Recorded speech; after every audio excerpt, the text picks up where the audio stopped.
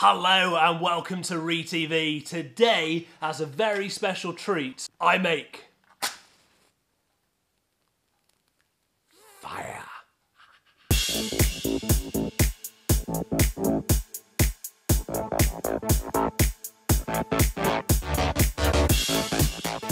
Oh, it's sunny. Yeah, I wouldn't, I wouldn't try and film it. This is Callum. Say hi, Callum. Hello, viewers. Viewers. what are we going to do today, Callum? Uh, make a Viking murder pit, apparently. A Viking murder pit. what do you think it is we're going to do?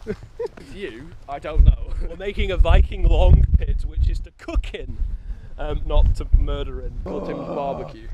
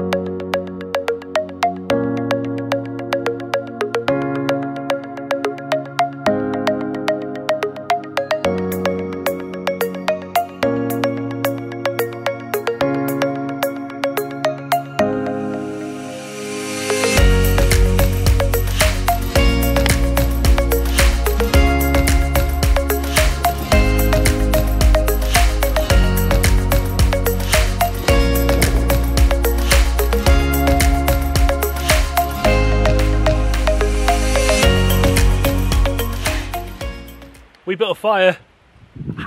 Now we're using it. Hmm.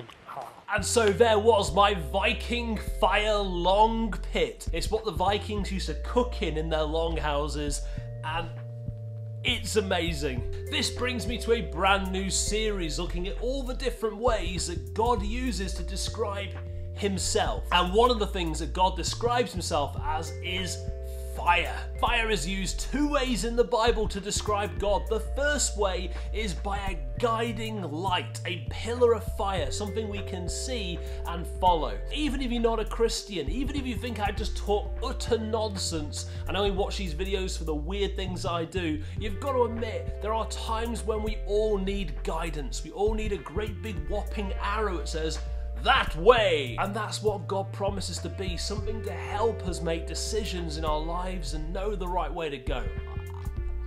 I find that really helpful. The second way that fire is used in the Bible to describe God is something that consumes, something that burns things away. Where's my match? When I strike this match, the fire doesn't stay in one place. It continues to burn and consume the wood. Like so.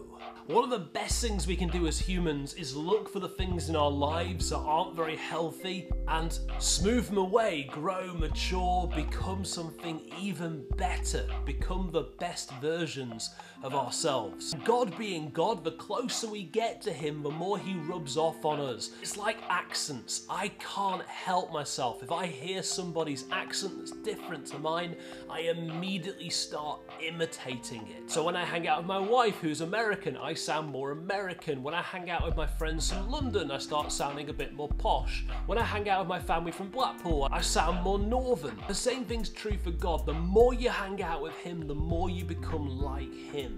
The more you become the healthiest, best version of what we're meant to be. Because, you know, God's perfect and His character and His heart rubs off on us. It burns away the stuff that isn't so good and gives us a light and a passion for the best things in this world. We start caring about other people more than ourselves. We want to fix the brokenness in the world. I just think we become better humans. So knowing God as fire is actually something quite epic. Hopefully this has been helpful and fun. Do make your own fire pit, but ask your parents' permission first, because it'd be weird if they walked into the garden and just found fire where the plants used to be. So have a brilliant week and we'll see you again. Thank you.